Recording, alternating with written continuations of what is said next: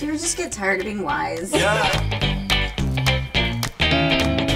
Welcome back to Joshington Post, and today I'm joined by the stars of A Wrinkle in Time, Mindy, Reese, Oprah. I literally feel like I'm never going to get this close to goddesses ever again.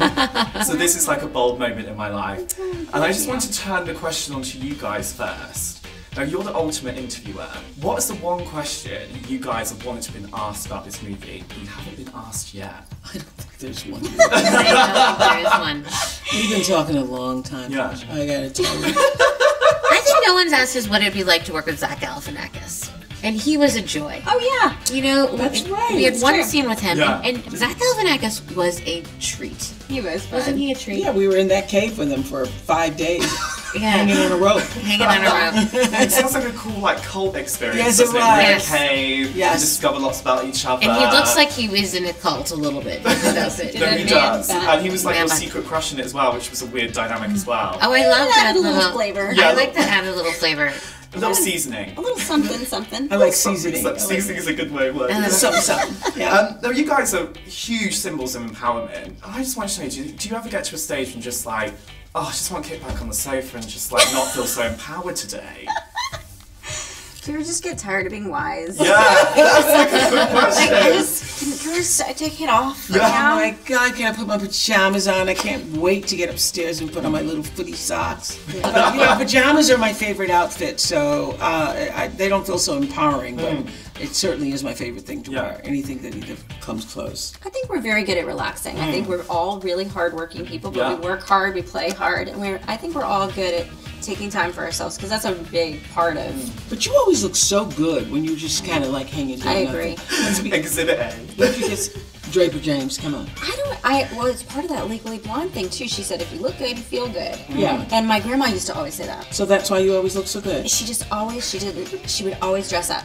She just thought you had to be dressed for the day, and it, it made you feel different. Like even uh, like like we flew together, and I was noticing, and she had these like cute jeans, like a black sweater. I thought, why don't I have that? Yeah. um, I I'm sure you do. You know, I, I, I'm I sure actually- you look great. You know, I have. I think I have jeans and a black sweater, but why didn't I do that with the boots, y'all? I'm gonna do that. But you guys are team misses in this, which Yeah. I love. And it's kind of like, to me, the Disney equivalent of Destiny's Child. Let's get real. By the way, I am so glad you said that Yeah. because that scene where they come over the wheat field and mm. we were standing there, we didn't we not say That this is is like a a Destiny's Destiny's Child Child Yeah, moment? moment. it is. I was like, You got don't it. You're the first I person You that are the that. first. That is the first time Yeah. anyone said that. Look at that. Imagine you guys literally being like, oh, can you handle this? Reese, can you handle this? Mindy, can you handle this? Yes. Yes, Yes. yes, you can. Yeah. But what would be an ultimate night out with you guys? I would love to know what girls' night out with you guys would be like. You just had one. We had it last had one. night. You just did one last That's why night. we're so punchy.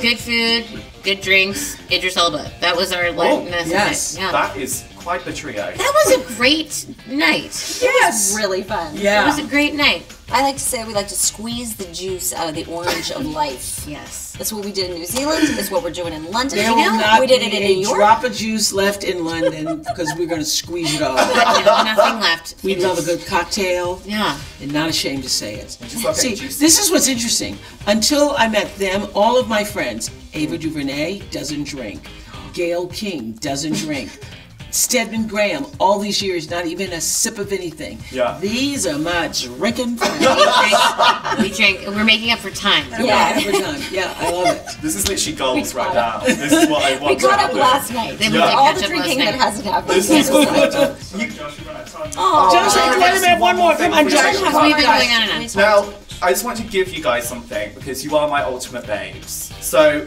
you get a babes badge. Thank you. You got a babes badge.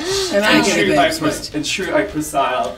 You got a babes badge, And- and, Oprah. And what does it mean babes to be a. Josh Babe? It just means you're the ultimate like queen of life, oh, basically. I love that. Yeah, That's very and nice. That's what you guys are. All right, Thank babes. you. So we're Josh Babes. You're Josh Babes. Josh Yeah. Babes. Thank you. You look so fab. Thank you. Great. Okay. We bathed for you.